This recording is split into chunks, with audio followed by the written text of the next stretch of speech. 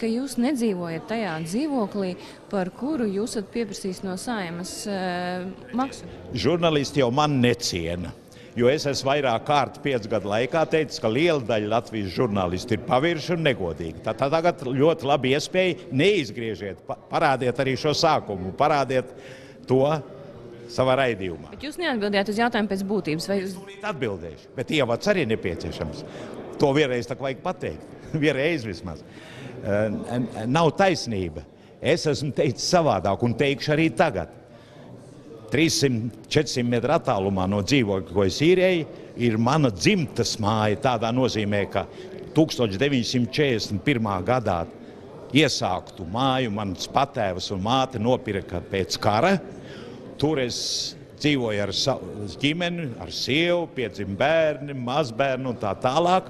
Viņi ir 300 metru attālumā. Man liekas, ka katrs piekritīs un sapratīs to, ko es teicu. Ir kas nesaprot. Nesapratīs, piemēram, Oksana Antoņenko, kas iesāk šo kampaņu. Iesāk saskaņas centrs par šo dzīvokli. Neviens cits un pārtvēra Latvijas žurnālisti, jo viņiem vajag, viņiem vajag senzāciju.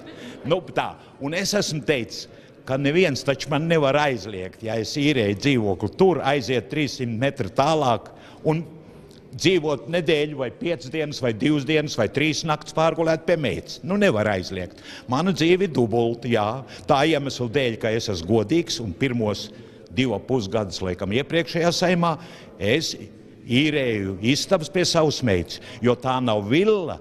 Tā ir septiņas stāvs šūnis, koku māja apmesta jau, bet tik labi atmest, ka nekrīt nekas nost, jo būvēja citi cilvēki. Kā tad jūs domājat, kādēļ es nevarētu tur dzīvot daļēji un daļēji tur? Tā es esmu, ja ir pārpratumi, tā ir žurnālistu vaina. Viņi neviens jau negrib, jūs droši vien arī visu šo neparādīsiet, neteiksiet, jeb ar saviem vārdiem. Bet, ja, ja jūs dzīvojat pie meitas, tad kāpēc jums ir, jūs īrējat atsevišķu dzīvokli, no kā pieprasat vēl saimnes kompensāciju? Nē, es pārguļu, jeb aizēju. Nu, es, kā, nu, akal, kā jūs man nesaprotat? Labi, man ir tur dzīvoklis. Šī dzīvokļa saimniece pirmkārt jau ļoti negodīgi, tagad viņa jau baidās šis cilvēks. Šis cilvēks jau tagad ir iebaidīts. Kā varēja Oksana Antaņenko dabūt šī dzīvokļa adresi? Jūs iedomājaties, saimnieciskā komisijā. Tas jau vien ir pārkāpums personu. Nu, bet jūs pats varat man tagad pateikt? Nu, bet es jau jums stāstu, nu, labi, es esmu tajā dzīvoklī, bet mana māja, dzimtas māja, viņa šobrīd ir dzimtas māja, viņa ir uz meitas vārdu, bet mēs visi sapulcējamies. Dzimta man ir pieci mazbērni, viens mazmazdēls jau. Tad visu tur mēs svinam, ne jau pie manis laukos, nu nevar vienmēr būt. Tā tad, ja es esmu šajā dzīvoklī, es tur esmu un uzturos tik, cik man patīk. Un, ka man nepatīk, es eju uz savu dzimtas māju bet saimai par to no budžeta tiek maksāta jums kompensācija tikai tāpēc, lai jūs varētu darīt tieši tā, kā jums patīk un ir ērti. Nu, pilnīgi pareizi. Es neesmu iztērējis nevienu santīmu vairāk, kā saima noteikusi, ko var maksāt par dzīvokli piecu gadu laikā. Jūs gribiet pateikt, jūs tā gribiet uzspiest atkal šo muļķību, ka man jā, jābūt visu laiku tai dzīvoklī un tikai tur, un es nekur citur nedrīkst būt. Nu, es noraidu tādu uztveri. Nu, noraidu. Nē, jūs varat dzīvot jebkur, izņemot jautājums par to, vai par to maksās valsts, vai par to maksājat jūs pats. Ja jūs maksājat pats, varat dzīvot, kur gribat. 41 lauku deputātam pagājušajā saimā maksāja. Es esmu dzirdējis, ka tagad apmēram lauku deputātu skaits ir tāds pats. Ko jūs gribiet, lai es atbrauktu ceļš uz Gaiziņkalnu? Nav, mēs braucam 150, 160, 170 km riņķī netiek pāri, nebrauc saimā, atsaka kangariem. Es ar savu mašīnu arī negribu braukt ar tiem kangariem. Jūs gribat, ka es iebraucu kā saimnes deputāts, atkal otrreiz desmitā saimā ievēlēts. Lai jūs, jūs gribiet pateikt man, ka man nav tiesības uz dzīvokļu naudu ar savu uzturē, izturēšanos tagad. Atbildiet, ja es esmu saimnes deputāts, desmitā saimā, man ir tiesības saņemt dzīvokļu naudu vai nav. Visvalds Lēdus iebrauc no Kaiziņa kalna Rīgā. Nē, jūs uz to varat atbildēt. Tikai tad, ja jūs tur patiešām arī dzīvojat. Nu, es daļu dzīvoju. Nu, nu, Kādēļ tad man jādzīvo tādā mājā visu laiku? Tādā dzīvoklī, ja man 300 metru attālumā, ja man dzimtas māja, jūs saprotat, ne nu, ģimenes māja. Es taču varu katrā laikā no turienes aiziet un pārgulēt pie meitas, ja palikt pa nakti, ja divas naktis. To taču jūs nevariet aizliegt, jābūt prātīgiem, saprātīgiem jābūt. Cik liels ir šis dzīvoklis, kur jūs īrējat? Šis dzīvoklis ir divi stāv dzīvoklis ar visām vērtībām. Jaunā mājā. Ja. Redziet, vēl viens. Visi cīnās par personisko datu neaizskrību. Šī dzīvokļa saimniece jau pietiekami iebaidīta Latvijas žurnālistu dēļ. Neprasiet, Vairāk es nerunāšu. Nu, pietiek, viņi ir iebiedēti. Ne jau es, es jau neesmu no tiem, Bet kas. kādā veidā kvadratūra ir personas datu aizskaramība vai neaizskaramība? Arī to, arī to jūs aiziet finanšu daļā, jums pateiks. Pateiks, jā. Tur pateiks. Un jūs uzskatāt, ka tā ir adekvāta cena par tādu dzīvokli, ko jūs maksājat? Cena ir adekvāta un ļoti pareizi darīja iepriekšējā saima un viss saimas, ka noteica griestus, kurus deputāts var saņemt un deputā, al, dzīvoklim. Un deputāts Lācis to nav pār, pār, pārkāpis. Par mani šobrīd jau saņem lielāku cenu, jauno cenu citi. Un es nebāžu degunu citu deputātu darīšanās, bet saņem jau lielāku. Nu, tad ejiet pie viņiem. Ļoti daudz. Es neesmu vienīgais, kas saņēma un tagad saņem 308 lats. Kādēļ jūs viņus neintervējat? Man jautājums. Tātad jūs uzskatāt, ka jebkāda intereses izrādīšana par deputātiem ir nelikumīga? Nē, to jūs teicāt. Es nesaku to. Es nesaku to. Tad kāpēc jūs tā pretojaties un izvērties uz konkrētu jautājumu atbildēšanu? Tādēļ, ka Latvijas žurnālisti ir negodīgi, pavirši lielākā daļa. Arī jūs uzskatāt, ka es esmu negodīga un pavirša? Nē, bet es to atkal neteicu. Lielākā daļa. Kādēļ man jānosauc vārdā? Kā es varu zināt, ko jūs pieskaitat pie lielākās daļas? Nu, man tas gan nav, jā, arī jā, nav, nav obligāti jāpasaka. Tad, tad lielākā daļa Latvijas žurnālistu jūs var iesūdzēt tiesā par godu un cīņas aizskaršanu. Kuri? Lielākā daļa Latvijas žurnālistu. Lai iesūdz, arī var parādīt jums, un pierādīšu to. Nu, piemēram, ja jūs gribat, jūs jau nerādīsiet. Šeit, pirmajā saimnes gadā, deputāts uh, Jakovs Plīners iziet ārā, pir, pa- viena no pirmajām manām runām, un paziņo visu Latvijas priekšā, radio pārēdi, ka lūk, Latviešu tauta un Latviešu leģions ir vainīgi pie tā, veicinājusi Hitlera impērijas izaugsmi līdz eh, tai, nu, var teikt, Arhangeļs Kaspijas jūras līmenim, nu, Melnās jūras līmenim, kas bija nosprauts Hitlera plānā. Viņš to pasaka. Viņš ir Latvijas ebrejs, viņš ir aizmutis prom, pareizi darīt 41. gadā, viņš ir palicis dzīvs, viņš jau nezina apstākļus, kādi tie bija iespējams. Kāds tam sakars ar negodīgiem Tūlīt, žurnālistiem? tūlīt būs, es jums pierādīšu. Tātad, ko deputāts Lācis dzirdot tos apvērumus? Redziet, jūs gribat vienu teikumu un tad visu. Nē, bet parādiet. Gribu uz konkrētu jautājumu, konkrētu atbildi. Būs konkrēti. Tātad deputāts Plīners šo pasaka. Visas tautas priekšā. Ko dara deputāts Lācis? Nospiež podziņu, starpā neviens nav.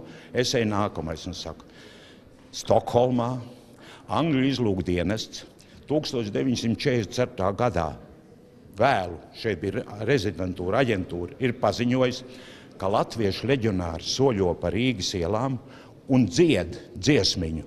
Es saku to vārdiem, mēs sitīsim tos sarkanos, pēc tam tos zili pelēkos. Plīnerkungs, jūs to neziniet, jo jūs bijāt pareizi darījāt aizbēdz, jūs saglabājat dzīvību. Bet tas ir Stokholmā arhīvā.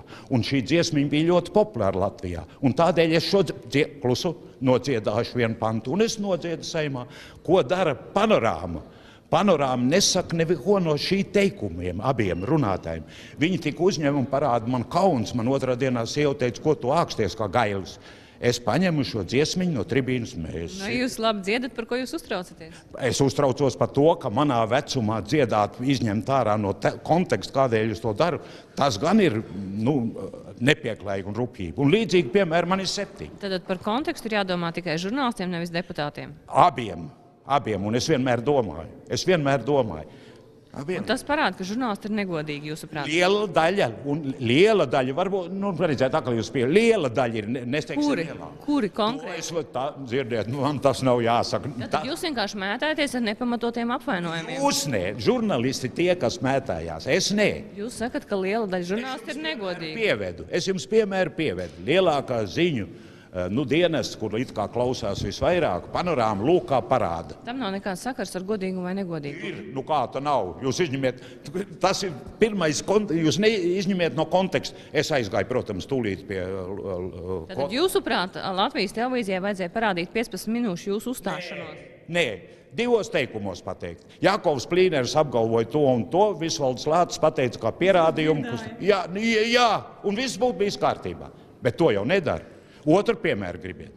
Nē, es jums uzdevu konkrēti jautājumu. Jūs sakat, ka lielākā daļa Latvijas žurnālistu liela daļa ir negodīga. Es jums uzdodu konkrēti jautājumu. Kuri ir tie Latvijas žurnālisti, kurus jūs uzskatāt par negodīgiem? Bet jūs jau neparādīsiet. Es jums vienu piemēru sarunāsim tā. No, nosauksiet uzvārdus, parādīsim. Nē, u- uzvārds šī gadienā Kots Gailīts. Pilnīgi, es jau pie viņiem aizgāju. Kods gailīts. Viņi nav žurnālisti. Kā, dzirdiet, nu ko jūs joks taisiet? Nu, ka tā jūs neesiet žurnālisti. Jūs. Es esmu žurnālists, Kots un Gālīs no žurnālista. beigsim. Un vēl septiņas piemērs no viņiem. Beidzamais piemērs ar jaunaugsnes kundzes tepat, kuriem es ticēju un vairs neticu. Tad Viņa- jūs uzskatāt, ka viņi nav godīgi? Nav pierādījums šeit pat, un klausties, labi, man ir laiks, lai man tur tas nekas. Viens piemērs, viņi tagad ņemās piecas nedēļas par to meitu. Neviens negrib parādīt pa meitu to, ko es viņiem stāstu. Viņa ar mani te piesauc beidzumu. Es ticēju, ka viņa ir godīga. Es viņai izstāstu, un jums arī stāstu, kā Lācis darīja meitu. Pirmajā, devītā saimnes dienā, gandrīz vai otrā, es aizēju pie Steinkunga un saku, mana meita ir beigusi Tehniskās universitātes koledžu pusotru gadu pēc vidusskolas, ļoti labi runā angliski.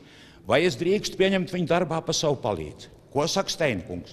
Ja jūsu frakcija ZZS toreiz piekrīt, jūs drīkstiet pieņemt viņu par. Nu, kla- jūs jau negribat klausīties. Jūs atkal gribat desmit sekundes, visu žurnālistu cauri. Variet pieņemt, labi. Faktiski piekrīt, Kota kungs pieņem. Viņa strādā. Viņa strādā nevis fiktīvi, bet katru dienu. Visa saima viņu pazīst. Tā man sāk nabi interesēties. Pirmā gadā, treknajā gadā nē. Tad viss bija kārtībā. E, vi, jūs zināt likumu, jūs jau šo likumu arī nezināt. Likumā pa valsts amatpersonām ir rakstīts, valsts amatpersona nedrīkst būt mantiskās attiecībās ar tuviniekiem. Es knabam saku, darbs nav manta. Pa 350 latu darbs, ja es būtu ielicis pa 1000.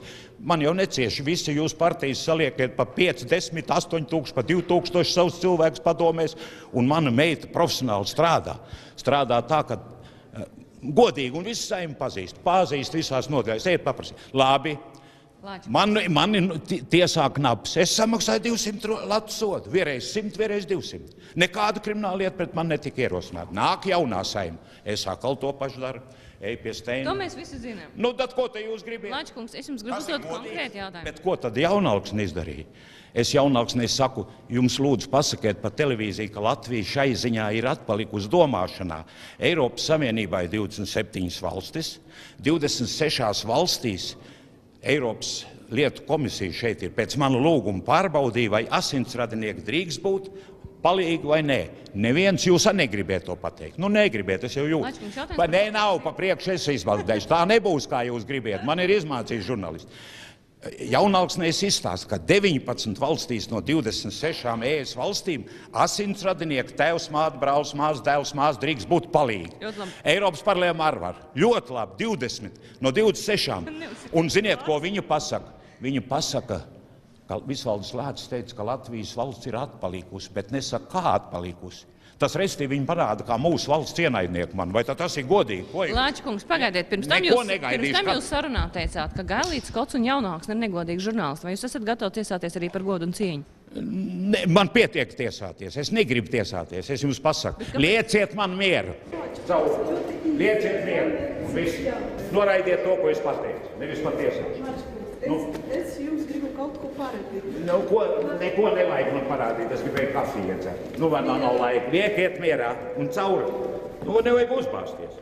Jūs gribat, lai pasaktu to, ko jūs Jūs gribat. nosaucāt konkrētus uzvārdus. Jā. Gailītis, Kots un Jaunāks. Jā, viņi- es pie viņiem biju. Ka viņi ir negodīgi. Jā, attiecībā pret mani tajā reizē, kad es dziedāju, viņi bija negodīgi. Jo pirms tam bija konteksts, kādēļ es to daru. un Viņi to neparādīja. Es uzskatu, ka tas ir negodīgi. Pasakiet, jā.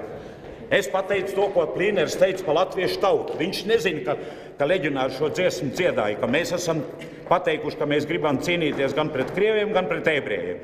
Viņi panorāma tik parāda manu vecu vīru kā gaili, kā ākstu, kurš dzied. Bet kādēļ to, to varēja pateikt? Es jau pie viņiem biju. Es saku, vai jūs nevarējāt 30 sekundēs parādīt, kamdēļ es dziedu? Jūs saprotat, ka tas ir ļoti nopietns apvainojums? Ļoti nopietni. Liekiet tiesā, un jūs redzat droši, ka man tiesā Lāča atklās. kungs, tur bija plakats par 16. Nē, es nevaru vairāk, man tā jāiet augšā. A, Citi deputāti